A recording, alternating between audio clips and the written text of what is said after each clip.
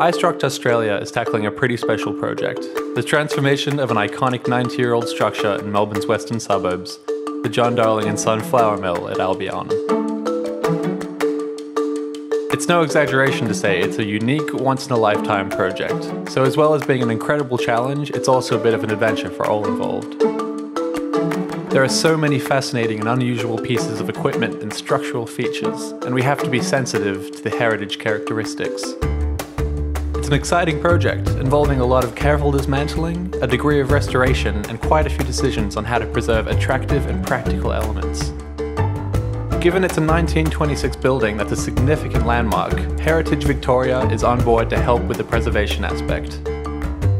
We'd like to take you along with us on this journey to transform this wonderful structure into a contemporary office building with the sort of character that you just don't see very often.